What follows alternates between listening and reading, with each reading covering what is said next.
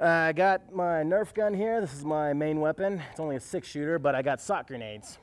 These thing, these babies right here, yeah, it's only a one hit, one kill, and you just gotta keep your moving though, cause don't make a stand. There's packs of these things. Grant Harper is currently on the hunt for zombies.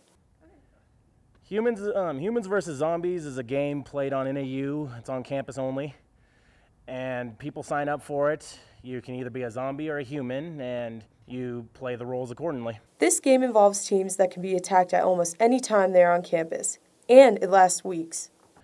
Rules of humans versus zombies. There's humans and zombies. Humans have to wear their arm uh, headbands on their arm, and that distinguishes them. They have to, it has to be visible though. It can't blend in. That's why I'm kind of having this one a little downwards.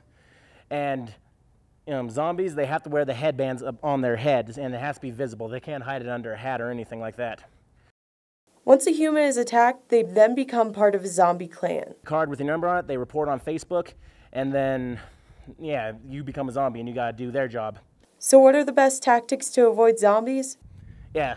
Uh, my advice to give though, if you're going to be a human, stay away from like the Union and other places like that. Stay off Main Pass. That's where they're hiding out. That's where packs of them. I saw a pack of 20 last night chasing these guys.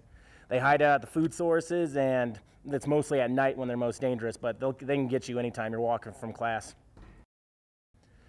Other than that, if you're a human, stay safe. If you're a zombie, I'm coming for you.